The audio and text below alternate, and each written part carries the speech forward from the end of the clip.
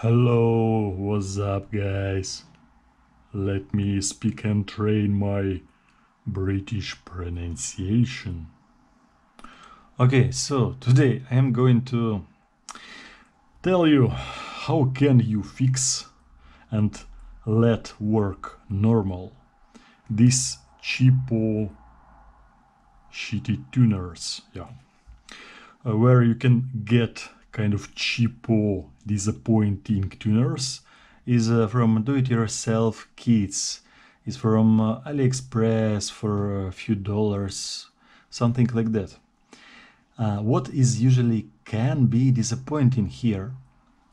First, is that uh, all tuners in set has uh, different uh, resistance to the rotation force so some of them are goes easily, some rotates very hard. Okay. Also, it's usually not rotating quite smoothly. Yeah, like there is no lubrication. Okay. So what do we need for this? Uh, we need simply put some grease inside. How to do it? If it's sealed. One of the easiest options is uh, to remove this uh, tuner knob. Okay. Be careful, don't lose small parts. Yeah. What to do now? You are going to rotate it counter clockwise yeah.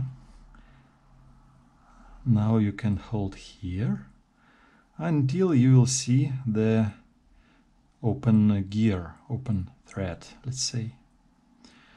What now? Choose any kind of automotive uh, grease what you can find. It's not so extremely important. Uh, try to put some appropriate amount. Not too much not too less. Uh, let's say okay.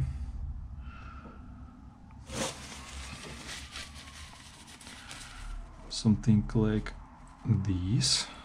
Okay. Very good. And mm -hmm try to engage it back. Okay that's nice.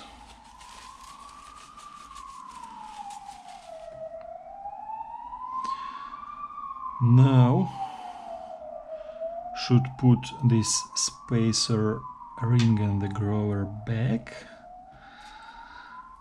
Put the screw back and finally screw it. Not completely screw it, but just tighten enough. And now is the key for the tuning key adjustment. Uh, what should you do to let all these tuners from the set to be rotating with the resistance what you need what you need yeah? Uh, you can control tightness of rotation by the tightening this small screw. Tightening more make it rotating more harder. It will not be affected if you'll just randomly touch it.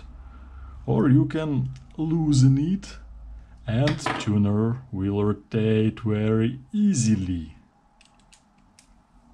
amazing. So now you know the secret. From now on it's not really necessarily to throw it to the garbage and to order expensive replacements straight away. Actually you can use it. Okay. Amazing. See you next time